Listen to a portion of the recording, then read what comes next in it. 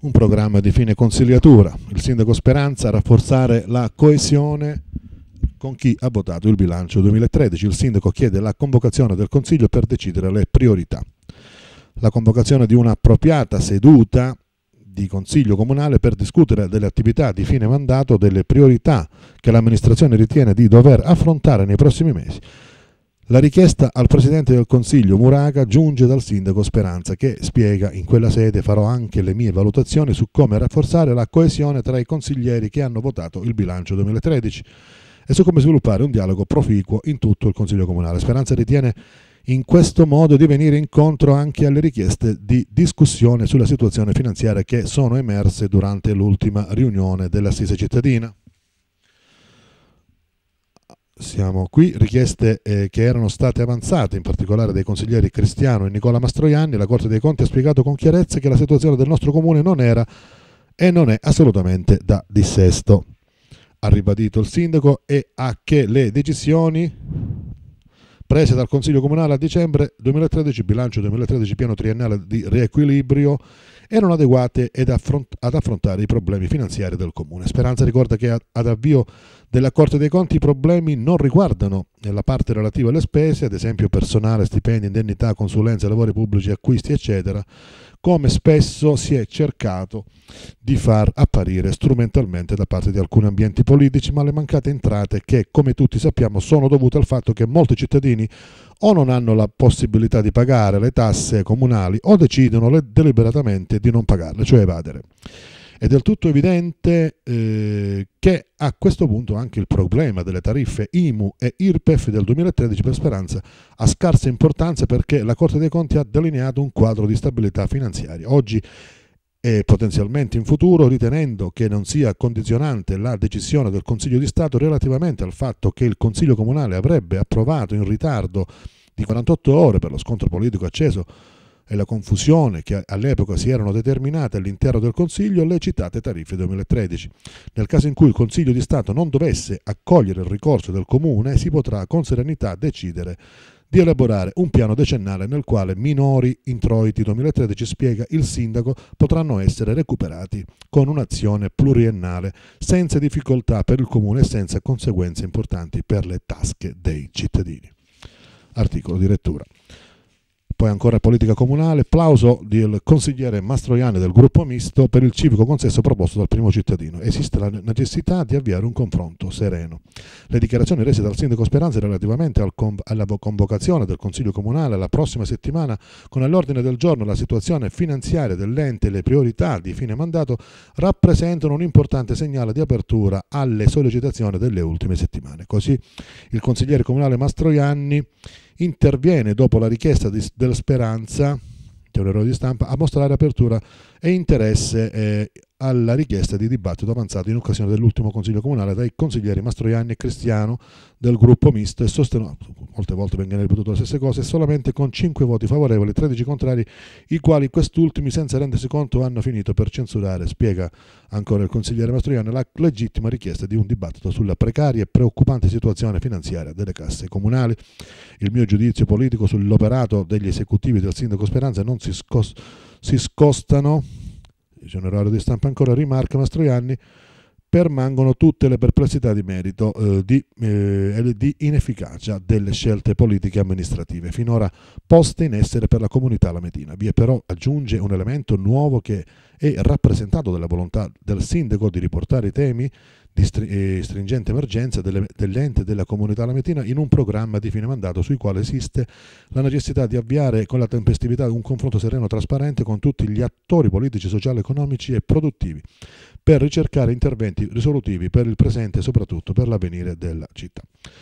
Giro di cronaca, denunciato dalla Guardia di Finanza un 43enne nativo di Lamezia, voleva aprirsi un conto corrente postale, ma la carta d'identità è risultata falsa con quella carta d'identità poi rivelatesi falsa in quanto intestata a un nome e un cognome inesistenti, R.MM di 43 anni, nativo di Lamezia, eh, ma residente a Pizzo Calabro, voleva aprirsi un conto corrente postale. Gli è però andata male perché in quel momento all'ufficio postale centrale di via Fabio Filzi, la posta numero 1 di Lamezia, c'erano due finanzieri che il caso ha voluto si trovassero nel posto giusto al momento giusto per smascherare il 43enne e quindi denunciarlo.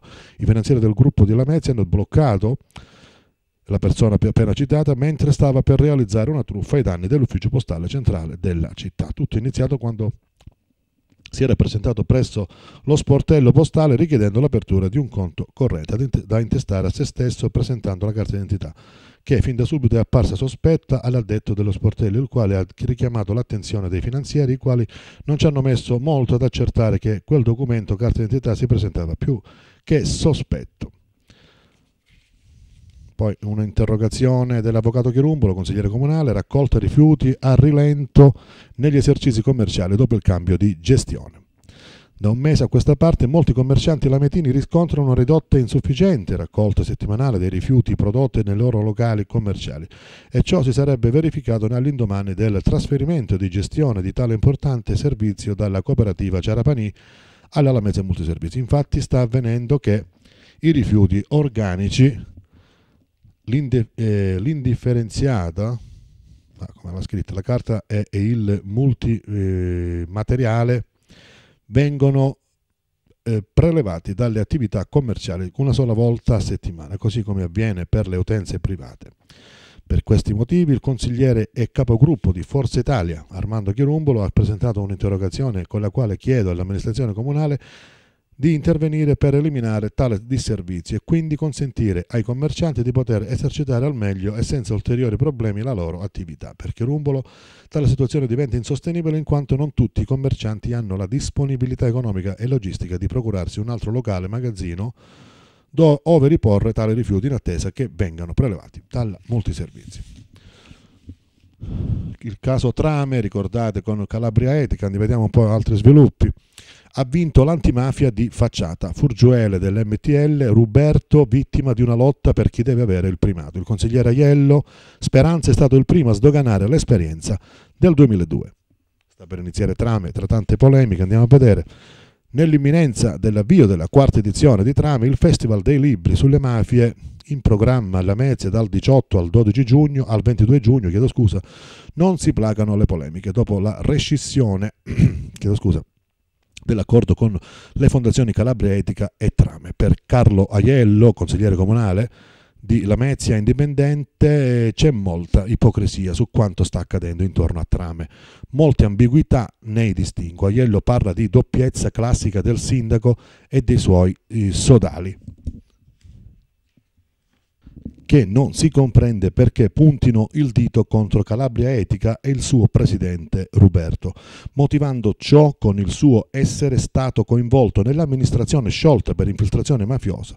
Il consigliere, eh, parliamo del 2002, il consigliere comunale insiste su questo punto, peccato facciano finta di dimenticare che in giunta e in consiglio comunale tra i banchi del centro-sinistra siedono da molto tempo persone che hanno avuto ruoli apicali nell'amministrazione chiusa per mafia nel 2002 e attacca ancora.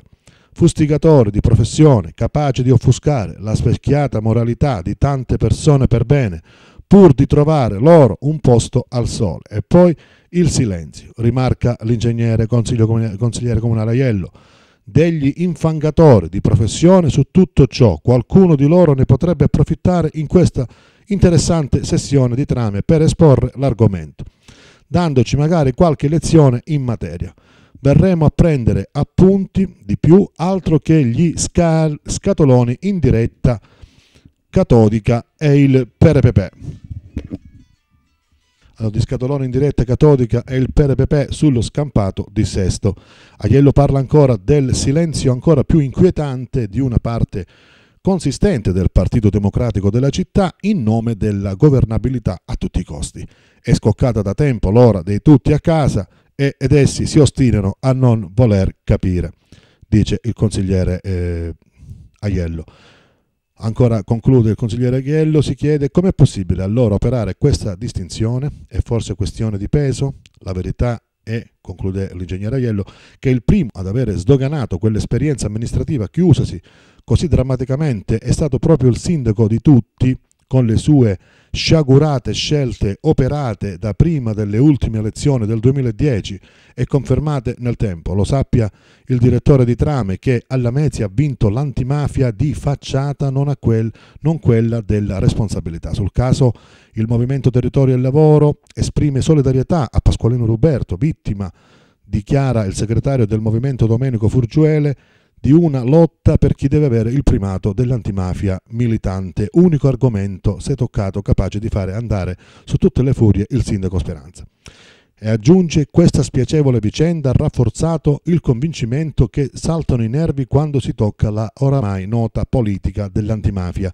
E nonostante Trame non abbia bisogno di essere difesa da una convenzione con un ente come Calabria Etica probabilmente già impegnato nel promuovere iniziative contro la criminalità, il partito del sindaco e qualche politico fallito sentendone un bisogno irrefrenabile sono intervenuti.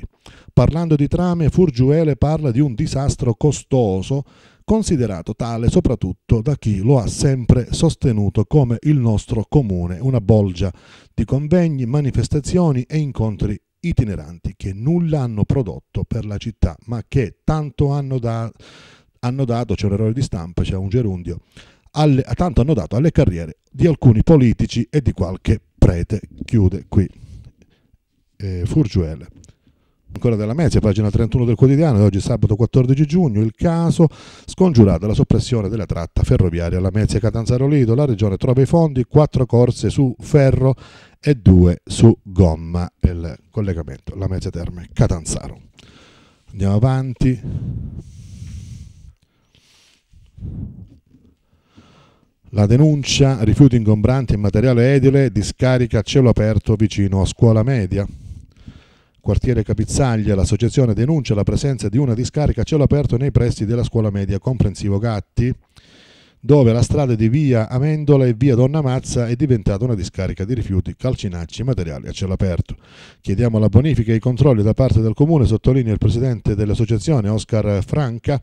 Via Amendola è ormai una vera e propria discarica a cielo aperto, quasi un punto di ritrovo per il rifiuto selvaggio, soprattutto per ingombranti e materiale edile smaltito impropriamente.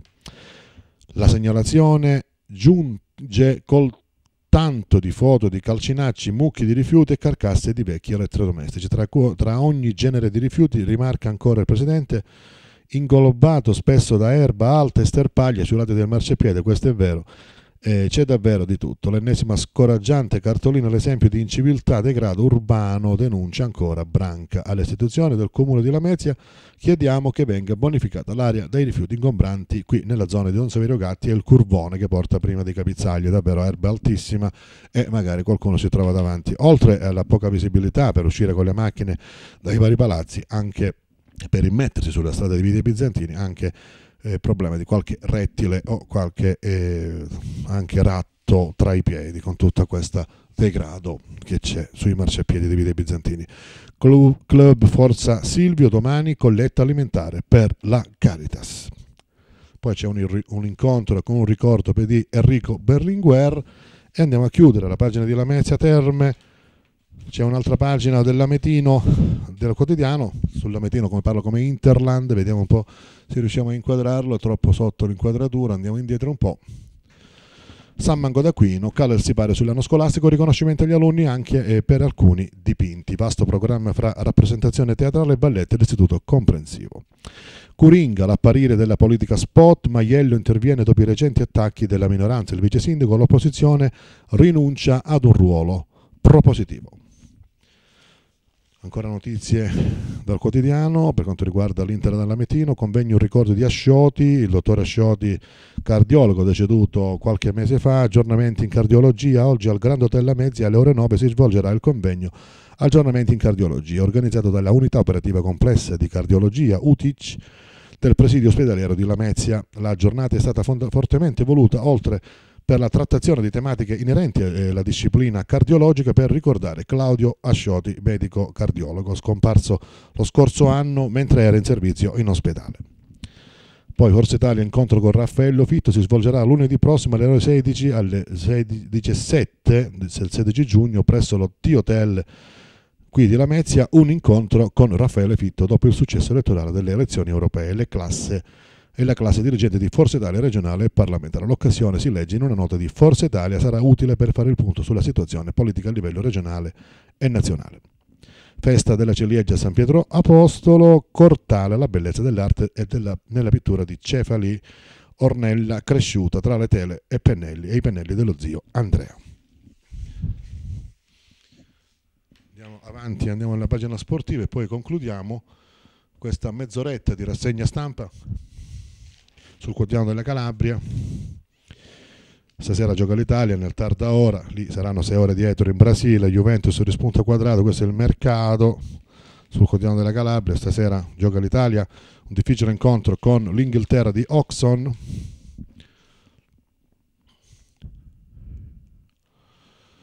Staremo a vedere, la, la prima partita è sempre una, da inquadrare con uh, l'emotività del sul mondiale, eh, poi pian piano magari si, si libera di più, eh, staremo a vedere stasera l'Italia che partita farà all'esordio del mondiale. Per la Vigor Lamezia i problemi sempre del Guido D'Ippolito, per lo stadio il tempo stringe dice lettura, maglia a Parma per il rinnovo dei prestiti di Rapisarda, Piacenti e Catalano. Ancora non è arrivato il definitivo sì dalla prefettura di Reggio di Calabria. È ancora in via di definizione la questione dello stadio alternativo di Reggio Calabria. La prefettura eh, di Reggio, ultimo ostacolo da superare, è stata già investita, ma il tempo stringe, poiché entro il 20 lo stadio alternativo dovrà essere comunicato alla Commissione Criteri Infrastrutturale della FIGC, la questione stadio ha rallentato le trattative o comunque i progetti tecnici. Quindi ora si è arrivati alla stretta anche perché il tempo eh, che si è perso ormai comincia ad essere troppo, se non pericoloso, visto che senza lo stadio alternativo la Vigor Lamezia non potrà iscriversi alla Lega Pro. Di certo non è per responsabilità delle società biancoverte, ma soprattutto a causa dei ritardi accumulati per i lavori al Dippolito. Comunque iniziati anche se a rilento viste le procedure burocratiche e tecniche. Del resto la stessa società del presidente Arpai è stata lasciata sola anche per il reperimento dello stadio alternativo. L'amministrazione comunale aveva assicurato di interessarsi per lo stadio alternativo, ma finora di concreto nulla. I passaggi e il lavoro che finora sono stati compiuti per lo stadio di Reggio Calabria li ha fatti esclusivamente il presidente Arpaia. In attesa il direttore sportivo eh, Maglia eh, nelle prossime ore sarà a Parma per definire eh, gli acquisti che vi ho detto prima, per confermare alcuni giocatori. E poi ancora il direttore sportivo oltre che a Parma ha già in agenda altri appuntamenti con società della massima serie tra cui il Genoa. Maglia dovrà anche incontrarsi con Federico Cherubini, ex direttore sportivo del Foligno, attuale uomo mercato dei giovani calciatori della Juventus da destinare alle serie minori. I canali dunque sono aperti per la Vigor che ha l'obiettivo dichiarato di allestire una squadra giovane per la prossima Lega Pro.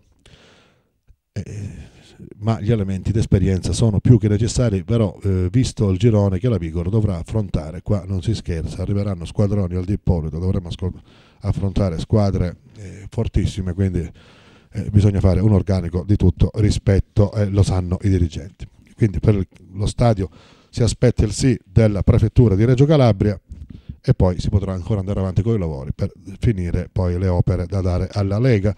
Sfogliamo un attimo il lametino.